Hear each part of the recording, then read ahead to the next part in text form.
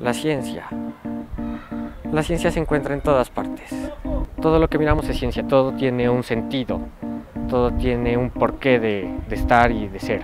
La ciencia es la forma de, por decirlo así, encender una luz en la oscuridad. Es la que se encarga de responder todas las preguntas que uno se hace. Y cuando tú respondes una pregunta, surgen mil más. Es la ciencia la que nos hace cambiar pensamiento, la que nos hace llevar cosas innovadoras y grandes para el mundo. Clubes de Ciencia nos está mostrando que realizar esos sueños, por más locos que parezca, es posible. Desde pequeños nos están ayudando a desarrollar nuestro pensamiento crítico, nuestro pensamiento analítico y nos hacen, digamos, eh, utilizar el conocimiento como una herramienta fundamental.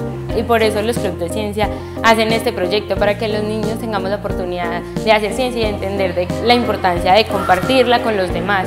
Básicamente todo fluye de un sueño.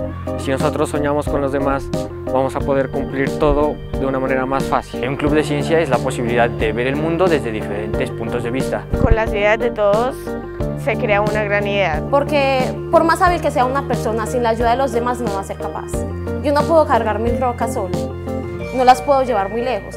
Pero si yo me consigo mil amigos, cada uno lleva ya una roca, cada uno aporta su granito de arena. Es como todo, todo tiene cada uno de sus componentes para que algo sea perfecto. Entonces es como la ayuda de cada uno para que las cosas salgan bien o salgan mucho mejor. Un club de ciencia es el primer paso para que en Colombia se haga investigación. Es empezar a formar nuevas generaciones para poder impactar la realidad del futuro.